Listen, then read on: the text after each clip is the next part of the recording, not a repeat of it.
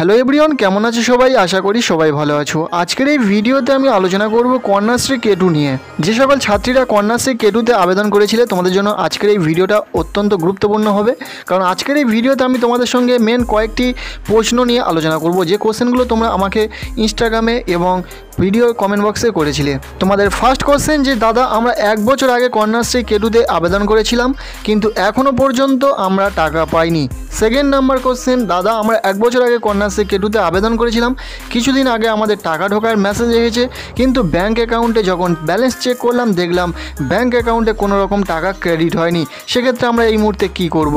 আর third number যে কোশ্চেনটা ছিল, যে দাদা, যদি আমাদের পেমেন্টটি ফেল হয়ে যায়, সেক্ষেত্রে আমরা কি কি করতে পারি? সো আজকের এই ভিডিওতে আমি এই সকল বিষয়গুলি নিয়ে ডিটেলসে কথা বলে দেবো। এই ভিডিওটা দেখার পর তোমাদের সমস্ত ডাউট সব ক্লিয়ার হয়ে যাবে। অবশ্যই ভিডিওটা তোমরা প্রথম থেকে শেষ পর্যন্ত দেখবে। ভিডিওটি যদি ভালো লেগে থাকে লাইক করবে। চ্যানেলে নতুন হয়ে থাকলে দয়া করে চ্যানেলটিকে সাবস্ক্রাইব করে পাশে থাকা বেল আইকন প্রেস করে অল নোটিফিকেশানটি অন করে রাখবে, যাতে আমাদের আপলোড করা এই ধরনের স্কিম রিলেটেড তোমাদের ভিডিও মিস না হয়। চলো গাইজ ভিডিওটি শুরু করা যাক। ভিডিও শুরুতে আমি তোমাদেরকে রিকোয়েস্ট করে বলব যে, অবশ্যই মনোযোগ সহকারে প্রথম থেকে শেষ পর্যন্ত আমার কথাগুলো শুনবে। তবেই তোমরা সব কিছু ডিটেলসে বুঝতে পারবে। প্রথম কোশ্চেন ছিল যে, দাদা, আমাদের এক বছর আগে আমরা অ্যাপ্লাই করেছিলাম কন্যাশ্রী কেটুতে, কিন্তু এখনও পর্যন্ত টাকা ঢোকেনি। তো আমরা কি করতে পারি? দেখো গাইজ কে টুতে যে সমস্ত স্টুডেন্টরা আবেদন করে আবেদন করার কিছুদিন পরে যখন তাদের অ্যাপ্লিকেশানটা অ্যাপ্রুভ হয়ে যায়, তখন তাদের মোবাইলে একটা এস এম এস আসে যে তাদের অ্যাপ্লিকেশানটা অ্যাপ্রুভ হয়ে গেছে। যদি তোমাদের মোবাইলে এরকম ধরনের এস এম এস এসে থাকে বা যদি না এসে থাকে, তাহলে তোমরা অবশ্যই অ্যাপ্লিকেশান স্ট্যাটাসটা চেক করে দেখো। যদি তোমাদের অ্যাপ্লিকেশান অ্যাপ্রুভ হয়ে থাকে, তাহলে কিন্তু তোমরা হান্ড্রেড পার্সেন্ট টাকা পাবে। এমন কেউ নেই যে কন্যাশ্রী কেটুতে আবেদন করেছে, কিন্তু টাকা পায়নি। তাই তোমরা হান্ড্রেড পার্সেন্ট টাকা পাবে, তার জন্য তোমাকে ওয়েট করতে হবে। আর কিচ্ছু না ওয়েট করতে হবে। তোমরা টাকা হান্ড্রেড পার্সেন্ট পাবে। এখন প্রশ্ন হলো যে কবে টাকা পাবো? এক বছর তো হয়ে গেল অ্যাপ্রুভ হয়ে রয়েছে, কিন্তু আমরা টাকা কবে পাবো? দেখো গ্যাস এক বছর হয়েছে ঠিকই, কিন্তু আগে কিন্তু টাকা দেওয়ার কাজ শুরু হয়নি। রিসেন্ট টাকা দেওয়ার কাজ শুরু হয়েছে সো তোমরা ওয়েট করো। আশা করছি দু মাসের মধ্যে ম্যাক্সিমাম স্টুডেন্ট এই কন্যাশ্রীর টাকাটা পেয়ে যাবে। এই টাকা না পাওয়ার প্রবলেমটা একজন স্টুডেন্টের সাথে হয়নি। প্রত্যেকটা স্টুডেন্টের সাথে হয়েছে, তাহলে কি আমি ধরে নিতে পারি যে প্রত্যেকটা স্টুডেন্টকে কি টাকা দেবে না? হান্ড্রেড পার্সেন্ট টাকা দেওয়া হবে, প্রত্যেকটা স্টুডেন্ট টাকা পাবে।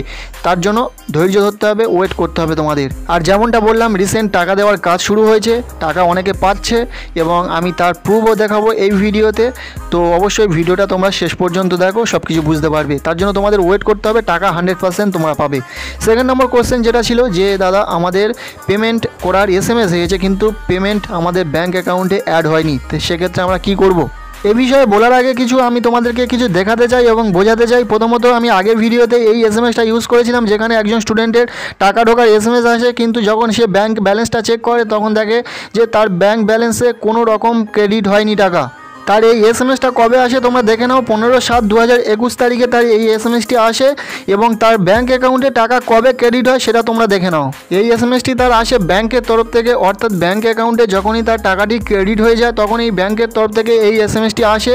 এই এস এম এসটি কবে এসেছে তোমরা দেখো, কুড়ি সাত দু হাজার একুশ তারিখে, অর্থাৎ পনেরো তারিখে এস এম এস হয়েছিল যে তার অ্যাকাউন্টে টাকা ক্রেডিট হয়েছে, কিন্তু ব্যাঙ্ক অ্যাকাউন্টে কোনো রকম টাকা ক্রেডিট হয়নি এবং কুড়ি তারিখে তার অ্যাকাউন্টে টাকাটি ক্রেডিট হয়ে যায়। তো আমি তোমাদেরকে বলব, যাদের টাকা ঢোকার এস এম এস এসেছে, কিন্তু ব্যাঙ্ক অ্যাকাউন্টে টাকা ঢোকেনি। তাদেরকে বলব ওয়েট করো, যতদিন না ফেল্ড এস এম এস আসছে। অর্থাৎ পেমেন্ট যদি ফেল হয়ে যায়, সে ব্যাপারে যদি এস এম এস আসে, ততদিন না তোমরা ওয়েট করো, যতদিন না তোমাদের ব্যাঙ্ক অ্যাকাউন্টে টাকা ঢুকছে বা কোনো রকম ফেল্ড এস এম এস আসছে।